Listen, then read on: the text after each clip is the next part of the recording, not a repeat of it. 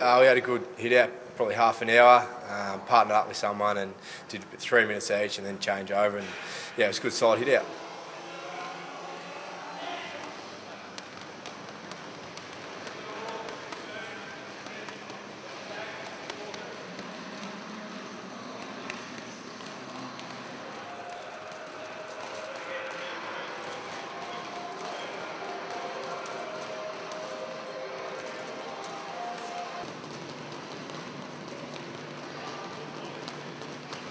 So obviously partnered up with someone, and your partner would just call out six uppercuts, so you'd have to bust out six uppercuts. So he might say ten hooks, so then you do ten hooks, and you do that for about three minutes and swap over. So by the end of it, you're feeling pretty fatigued, and the arms get pretty tired.